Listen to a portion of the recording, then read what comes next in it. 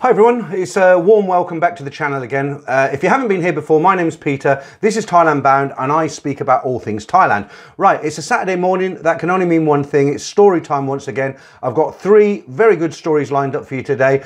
Before I get into the stories this morning, I just wanted to give everybody an update on the the book. If you haven't heard about the book, uh, people have been asking me for the last year or so that why don't you put these stories into a book? And I've, I've finally got there. Um, I have a book coming out on Amazon. I'm hoping next month it's going to be a, a downloadable um, Kindle book or a paperback and I'm now looking at trying to get it as an audible book. That's the difficult part. Uh, there's going to be about 50 stories contained within this first book. If it goes well, there might be a volume two and a volume three. And as I always say, every everything, everybody is anonymous. Nobody will be exposed. There's no names. Everything is. Uh, all the names have been changed. So if you're one of those guys who have been kind of hounding me for the book, not long to wait now, guys, maybe another month or so. And it's not going to cost an arm and a leg, maybe five pounds, six dollars, something like that. So of course, when I when it's released, I will I will uh, let you know. Right, so let's get into the to the three stories today. As always, uh, there's a couple of short ones and one quite a long one, and um, I think you're going to like these guys. So let's not waste time, as I always say. Let's get straight into the first one.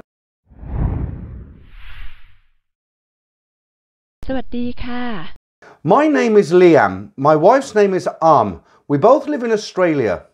I was divorced from my first wife in 2006. I spent a few years after that dating several women I met online. I always found that about after about six months into the relationship, the real person emerged and then the problems began. I kept finding that the women I met had issues and carried emotional baggage from the past. I didn't want to deal with these kinds of women and they always wanted to change me when I was happy with who I was already. I was ready to give up on meeting the girl of my dreams. I had some friends from Laos who were going to go there on holiday and wanted me to go with them. Having never been to a, an Asian country, I thought it would be great fun. It was in Laos that I had my first bar girl experience, which was awesome. I loved it. What I loved was, although it was a basically a business deal, you got the full girlfriend experience. And this, I believe, is where many men come undone. They believe it's real and after a few days they lose their way. Fortunately, I had my friends remain, remind me of this fact. I had a great time, two weeks of bliss. That trip is another whole story in itself. Getting back to Australia, I was bitten by the bug. I thought no more Western women for me, but how do I meet Asian girls while in Australia? I worked with lots of Thais at the time in a food factory, but all the girls were married or too young, being in Australia on student visas. Now in 2011, I found an Asian dating website and put my profile up. My profile up.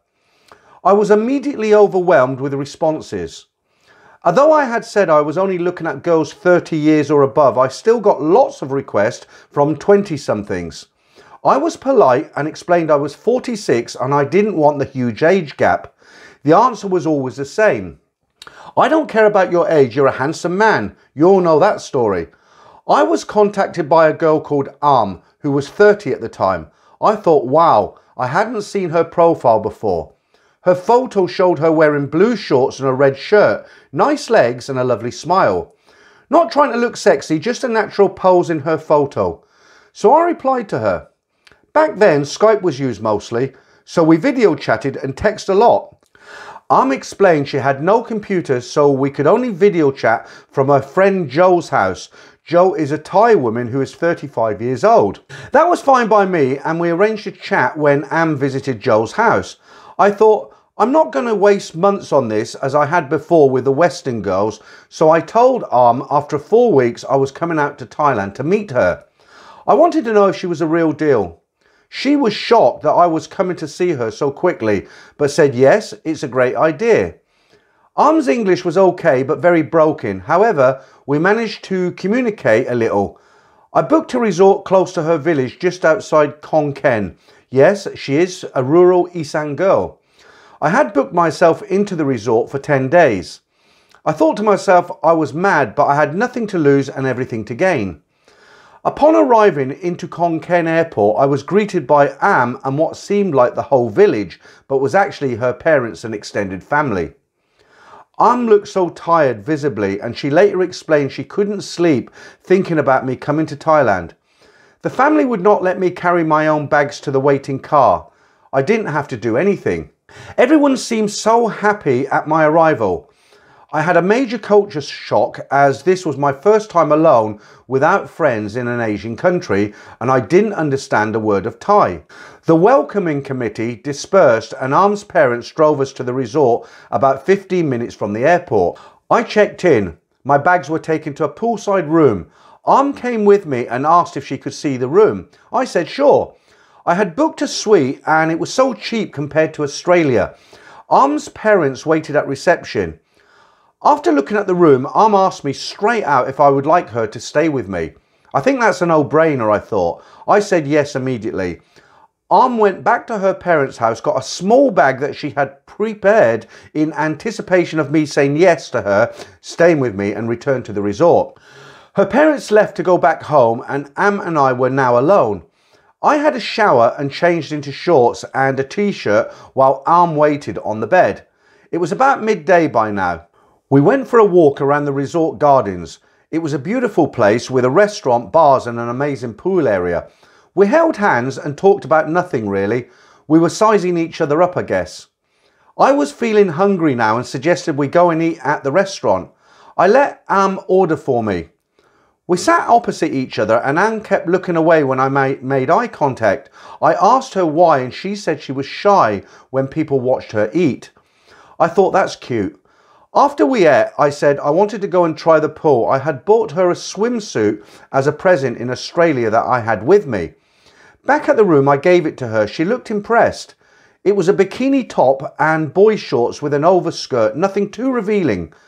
My heart had said G string, but my brain said be sensible when I bought it. I just got lucky with the size. Back at the suite, Arm went into the bathroom to change. I sat on the bed and waited for her.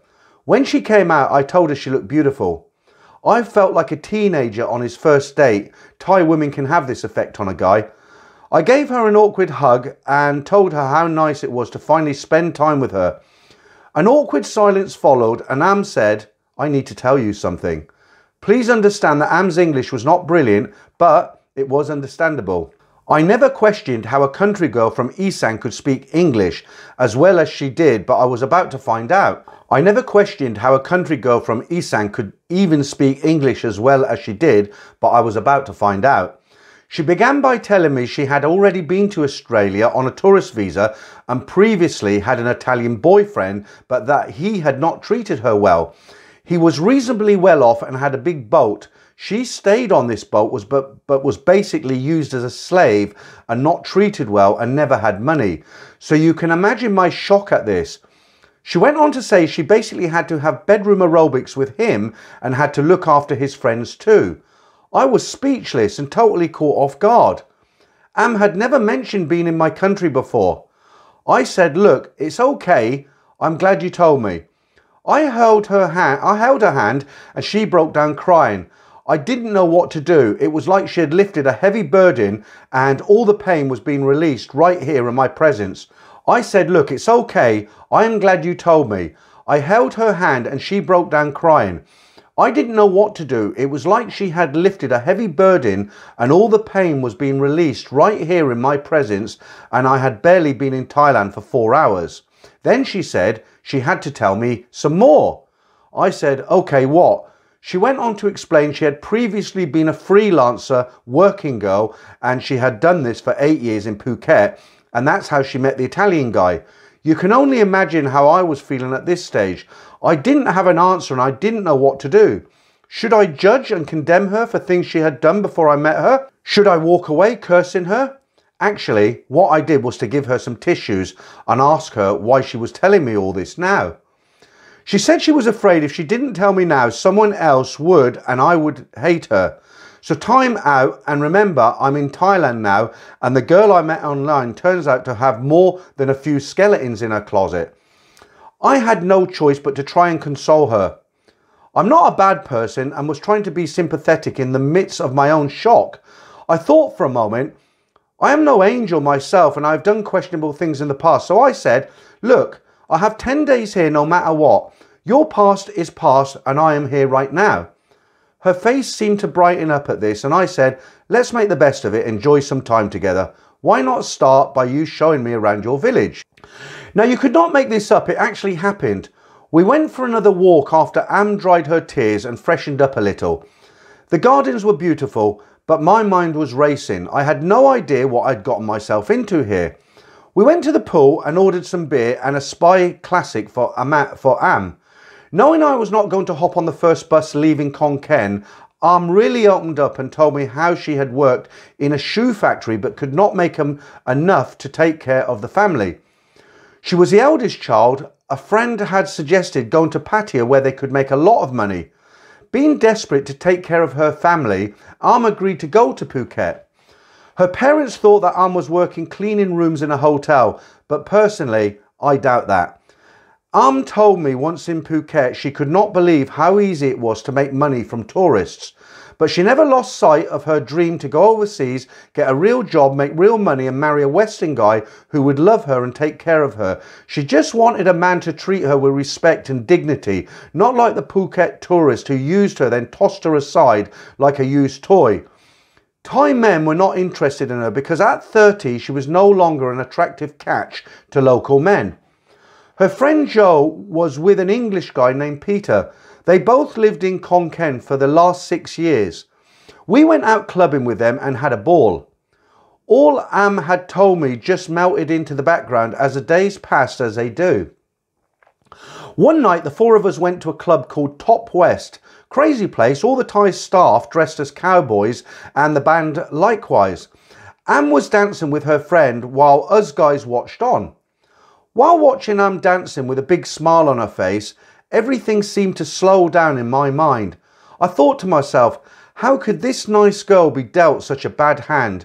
It is true to say that she chose to go to Phuket, but I know now that she had very limited options. During my 10 days in Khon Kaen, we spent every minute together and shared a bed and shower together, but no bedroom aerobics.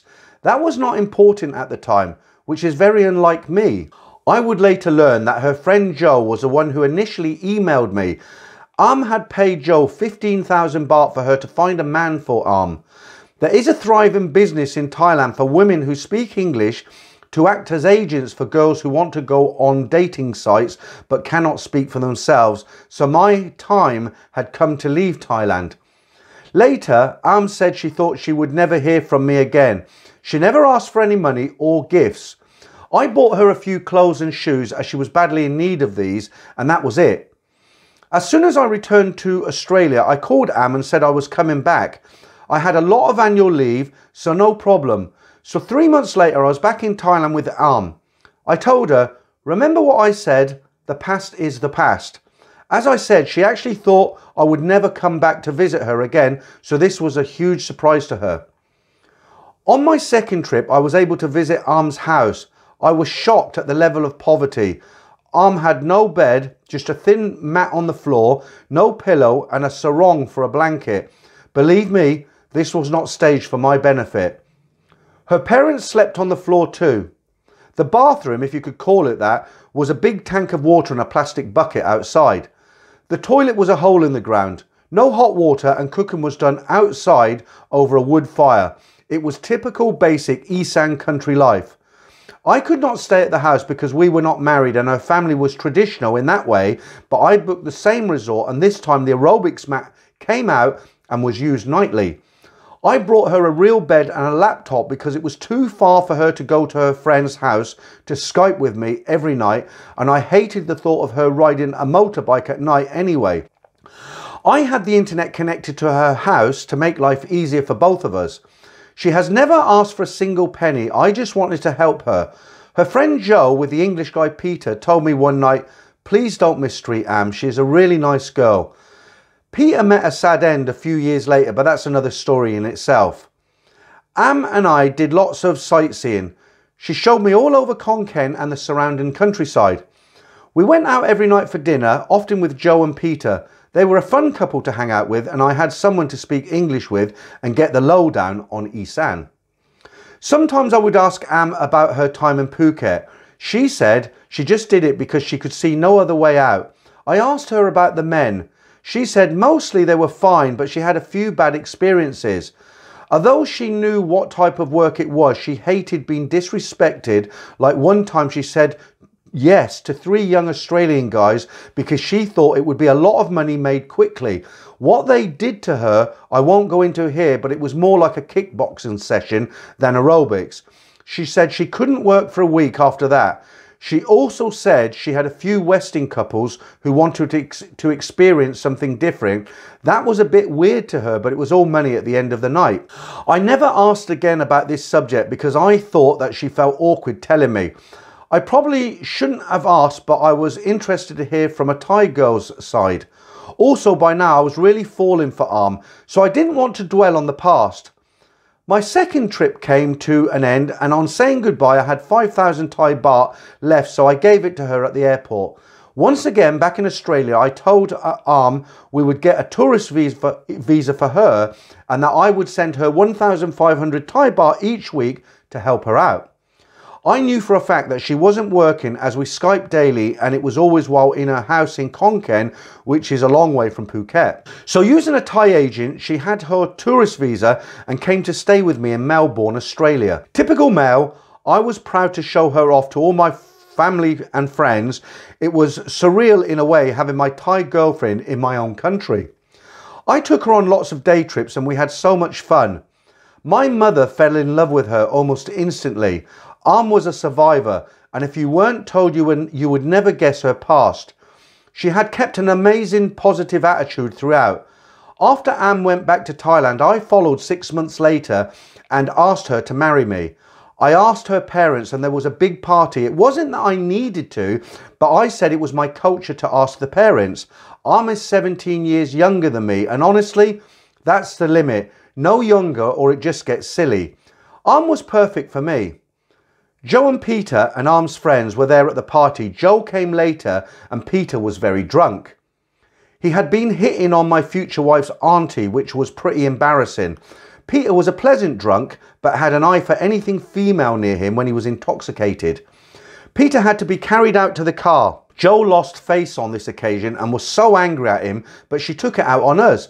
She came over and she said, You know you're going to marry a prostitute, right? I laughed this off and told Joe, yes, I know because Arm told me everything. This made her even more angrier because her words had no effect on me. She would much later apologise to us for this outburst. If you remember, at the beginning of my story, Arm said she wanted to tell me everything before I found out from someone else. Well, here we are, a jealous friend trying to destroy our happiness, telling me something I already know.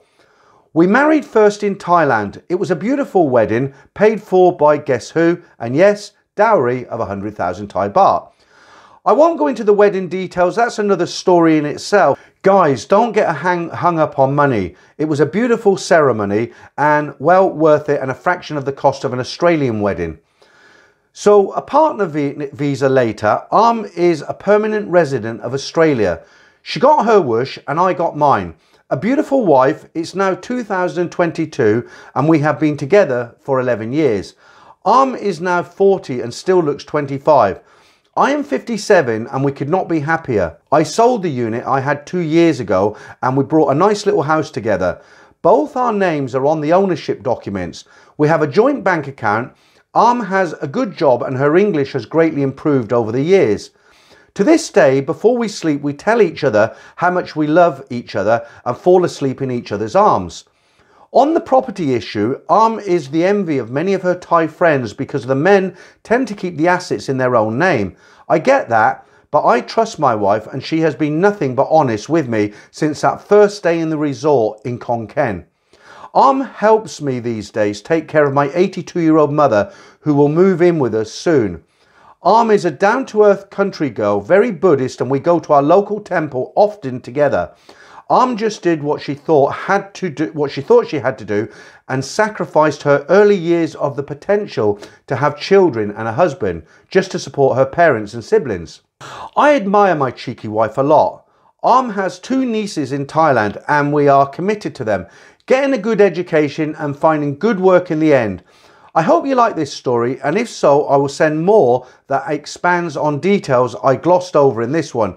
Kind regards Liam. So there you go guys, a, a truly successful story. Now I suppose it's it would be easy for people to look at Arm and judge um, but at the end of the day, you know, who's perfect? And I know there's a stigma uh, uh, and people might leave comments saying about her past. But at the end of the day, she's made a good wife. She's really happy. He's got a lifetime partner. Um, what more can you say? I mean, if they're both happy, you can't knock it, can you? Uh, and to be honest with you guys, when I read that story, it actually I welled up and I can feel myself welling up now. Great story, great story. Right, let's jump straight into story number two. Okay, my third trip to Bangkok, about my sixth trip to Thailand, I spent a few days in Bangkok before going down to Pattaya. I was staying at the Dynasty Hotel on Soi 4 in one of the older rooms. Very good location, okay price and suitable for my needs. On my second of three nights, I went to Nana and watched some shows, had a few chats and drinks with nice looking ladies, then went to Hillary Bar too. I had a look around for some company and the couple of ladies I was interested in were busy. I eventually found one a couple of years older than I usually go with, about my own age. We started chatting, she spoke good English. I was interested in sightseeing the next day. She offered to show me around. I had a couple of jacks and Coke. She drank soft drinks. I think she had one alcoholic beverage. Back in my room, we talked a lot, had a couple of drinks and listened to music on a Bluetooth speaker, a newish thing at the time she liked and I said I would buy her one the next day. She started to cry about her boyfriend, an, um, an African American she had been with for three years, including living full time for two of these years in Thailand and had previously had a successful restaurant with him. Apparently, he had to go home to renew his visa and was now with his wife. She was not sure if and when he would be back, but he was apparently still supporting her. She was upset about it and adamant that he had been with his wife the whole time. I said maybe he had just rekindled things with his wife when he got back home, which made her angry. So I, I switched to, you're right, he's a bad guy. It was a bit weird. Here she was in my room planning on sleeping with me, a stranger, but upset about her boyfriend being back with his wife. The next day, she showed me around the King's Palace, the reclining Buddha, etc. I was not allowed to take any photos with her, so they could not get back to her boyfriend accidentally if I put them online. She got me to buy her some shoes, makeup, and speakers, etc. She persuaded me to spend more on gifts than I wanted to by telling me that she had saved me money on the sightseeing by not drinking alcohol herself. She bragged about the house she had built up country, which has three bedrooms, one bathroom, and a European style kitchen, etc. And in the main house, an outdoor lounge and Thai kitchen, then a sleep out with four more bedrooms, a 60 inch TV with a satellite dish with 300 plus channels. She showed me photos on her Facebook the American boyfriend had paid for this and different family members lived in it seemingly to come and go as they pleased. She was only home one to two months a year. I had fun with her. She was refreshingly honest. She talked about other boyfriends, an English guy that was paying for her daughter's university and a Canadian guy I gathered was sending her money so she did not have to freelance anymore. And he rang her at 7pm every night. I'm sure there were more. She talked about her three condos she owned up country near her house, which she rented out, and she owned the one she lived in in Bangkok on Soi 10. It made me wonder why she was still freelancing. At the end of our time, she wanted to stay in contact. I was not allowed to have her Facebook as her boyfriend was on it, but got an email and we sent the occasional message. No demands for money or sick buffaloes, etc. Just chat and hope to see you next trip with no pressure or fake BS. I saw her a few times over the next couple of trips. I continued to be too generous with the gifts, but enjoyed her honesty. And she spoke good English, so we were able to talk something that can be lacking in short term relationships with Thai girls. One trip while we were talking in my room, she said she had never been to Pattaya and would like to check it out. Maybe she would come down and see me. I had been silly enough to tell her enough details so I think she would have been able to find me and as I had been enjoying her company and to avoid her surprising me, asked her to come to Pattaya with me. She negotiated three nights, four days. We had a good time. I showed her around and she continued to get presents out of me. I took her to one of my regular haunts, Billabong on LK Metro, usually early. At 7pm each night she would make an excuse and go back to the room to use the bathroom. I knew and had become friends with some of the girls there and it was sweet when they came and warned me that she was not going to use the bathroom, she was calling her boyfriend. I reassured them all that I knew and was not bothered at all. I felt I was spending more than I should and I was getting a little bored. She got her 19 year old daughter down from Bangkok for the last night and day. She was quite naive and it was amusing taking her to Walking Street. We got turned away from most clubs and bars because of her age. Her mother was keen to show her a little as she was aware now she was in uni. Her friends were going out and she knew she was too scared to go out with them and was missing out. It got boring as neither of them drank alcohol. We were not allowed in many places and I was not on the hunt. So we went home fairly early. I remember being at the carousel bar and watching the daughter's face as we came round into the view of a go-go bar doors as they were open. She was so shocked and curious it was classic. I had a one bedroom unit that trip off Mu 9 Soi Boomerang Soi 15 Buakhao so the daughter slept on the couch in the lounge. The next day, the shopping spending kicked into overdrive at my expense, which was making me feel exploited. After a while, I said I was over my budget, had to stop spending. They suddenly worked out they needed to get an earlier bus back to Bangkok so the daughter could get an assignment done for university. I was relieved to get them gone. I was a little upset feeling used, so was not planning on seeing her the next trip. But the last night in Bangkok, I ended up drunk in the Hillary bar. She was not there and I was relieved. I picked up another girl and she turns up and gives me a filthy look. As I left, she grabbed me, but I shook her off. I got a dirty email which made me feel like I'd got revenge for being used. I don't think I went back to Bangkok for a couple of years. Out of the blue, I got an email from her pleading poverty. She said that business was bad and she could not pay her rent and she was about to get kicked out of her condo in Bangkok. At first, I was angry that she would try and con me, but after I had calmed down, I realised she was just doing what she could to survive. I sent her back an email saying, Why should you kick yourself out of the Bangkok condo that you own? If business is bad, why don't you go home to your big house with your big screen TV? If your house is too full of your family, why don't you stay in one of your three condos up there? After a day and a half, I get an email back simply saying, LOL, laugh out loud. I forgot you know me so well, she said. I planned on not seeing her again, but it reminded me no matter how well we think we get to know these girls, you will almost always remain a mark to a bar girl. About one year later, I did a trip with friends and we did two nights in Bangkok before going to Pattaya. He had not done Soi 4 area, he'd, he had done a different section of Bangkok years before. I enjoyed playing tour guide. We did Nana Plaza the first night and had a lot of fun. Second night we met another friend from back home that had come back from travelling somewhere else. We met on Khao San Road he had two American backpacker girls in tow that he was interested in and wanted to go around the adult entertainment areas with them. I was not keen on Khao San Road and they had been there for a couple of days already. We got out of there to my relief. We went to Patpong despite me and the taxi driver warning them they allowed us to be directed into a scam joint to watch a ping pong show. It was not much of a show and we got away we got way overcharged for drinks as we left. I think we went to Soi Cowboy next. We must have had a couple of drinks in bars there, but fairly quickly we went back to Soy 4.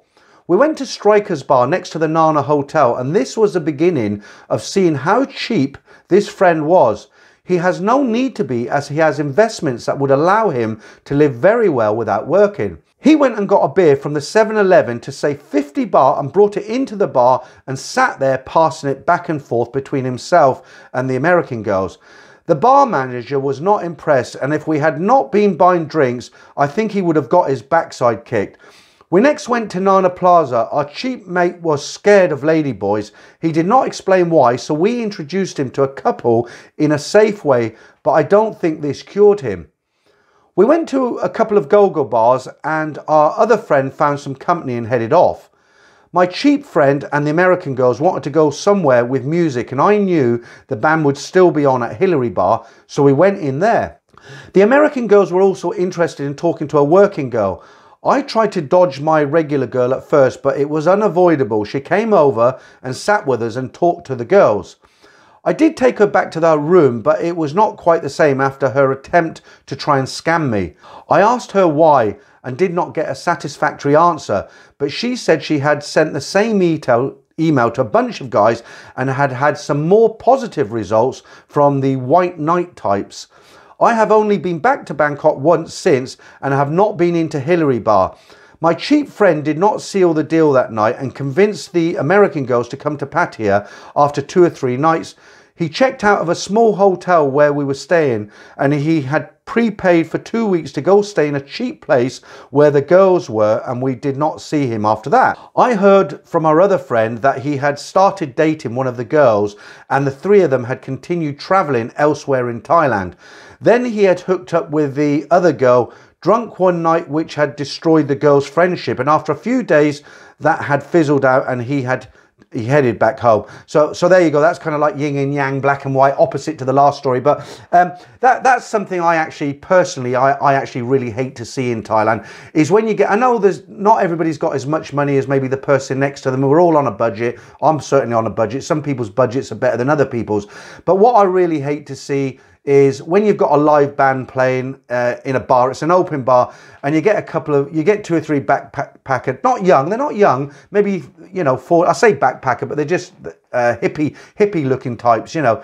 And what they'll do, they'll go to 7-Eleven, they'll buy a beer, the cheapest Singha or whatever it is, and they'll stand watching this bar and they get involved with the crowd and they're clapping and it, it's almost like they're in there but they're doing it on the cheap because they bought the beer between the three of them from 7-Eleven. I, I don't know why that really really irritates me. I hate to see it and I just think to myself look the Thais are there the guy playing the guitar the band whatever they're working hard they get a salary from the people in the bar buying their drinks and these guys are standing outside the bar with a bottle from 7-Eleven. It, it really winds me up so that that's my pet hate.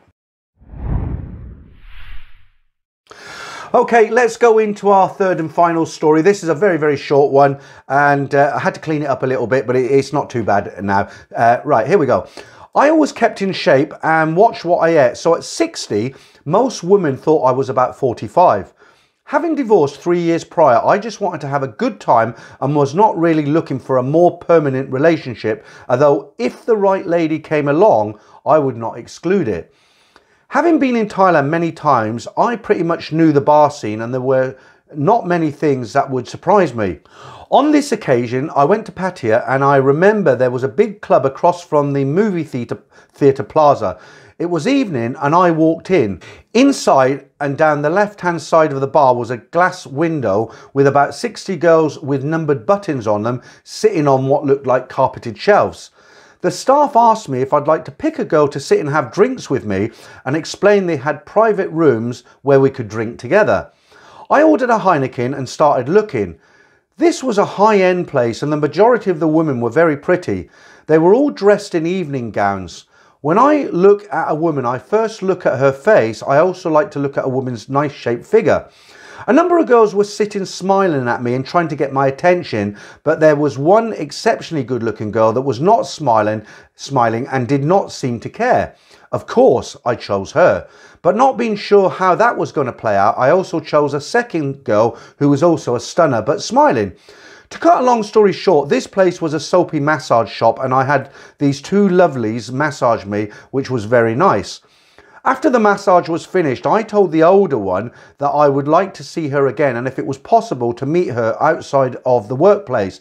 The other one replied first that she would be also be interested.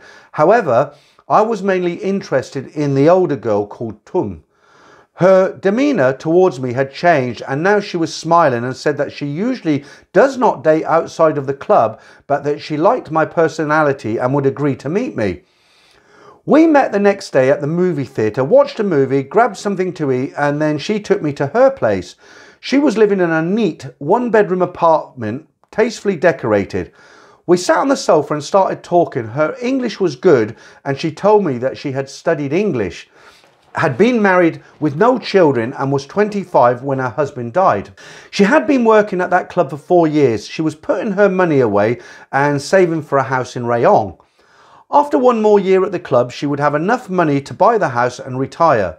We made love, and when I tried to give her some cash to help her out with her plans, she told me that she does not normally bring people back to her place and that she did not want any money. That surprised me, and I realised that this girl really liked me. We dated for another three weeks and she never asked me for anything. I bought her some clothes and always paid for the meals and drinks.